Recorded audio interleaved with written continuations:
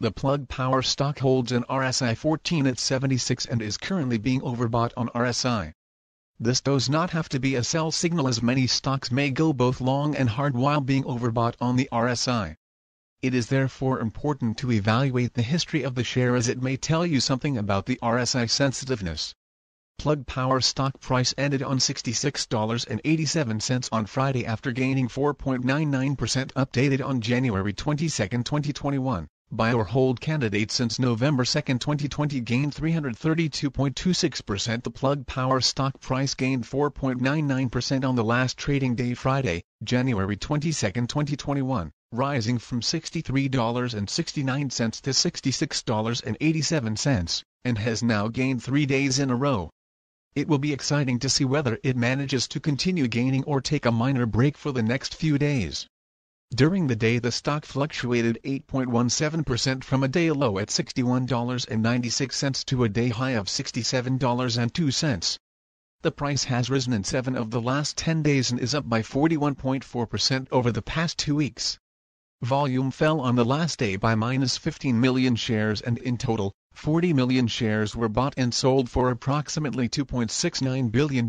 You should take into consideration that falling volume on higher prices causes divergence and may be an early warning about possible changes over the next couple of days. The stock lies in the middle of a very wide and strong rising trend in the short term and a further rise within the trend is signaled. Given the current short-term trend, the stock is expected to rise 161.45% during the next three months and, with a 90% probability hold a price between $108.60 and $193.46 at the end of this three-month period. Signals and forecast The Plug Power stock holds by signals from both short and long-term moving averages giving a positive forecast for the stock. Also, there is a general buy signal from the relation between the two signals where the short-term average is above the long-term average. On corrections down, there will be some support from the lines at $65.10 and $40.06. A breakdown below any of these levels will issue sell signals. Furthermore, there is a buy signal from the 3 months moving average convergence divergence MACD. Volume fell during the last trading day despite gaining prices. This causes a divergence between volume and price and it may be an early warning. The stock should be watched closely. Some negative signals were issued as well, and these may have some influence on the near short-term development. A sell signal was issued from a pivot top point on Wednesday, January 13, 2021, and so far it has fallen minus 3.78%.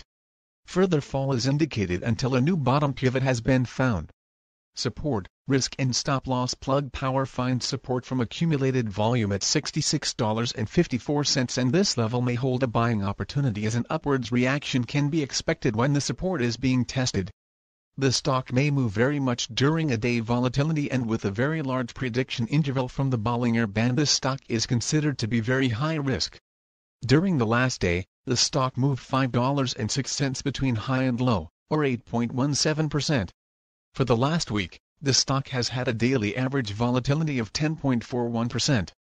Our recommended stop loss, $64.17 minus 4.04% This stock has very high daily movements and this gives very high risk.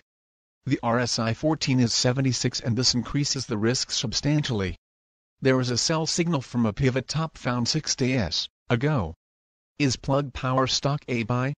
Several short-term signals, along with a general good trend, are positive and we conclude that the current level may hold a buying opportunity as there is a fair chance for plug power stock to perform well in the short term. Current score, 3.103 predicted opening price for plug power of Monday, January 25, 2021 The predicted opening price is based on yesterday's movements between high, low, and the closing price.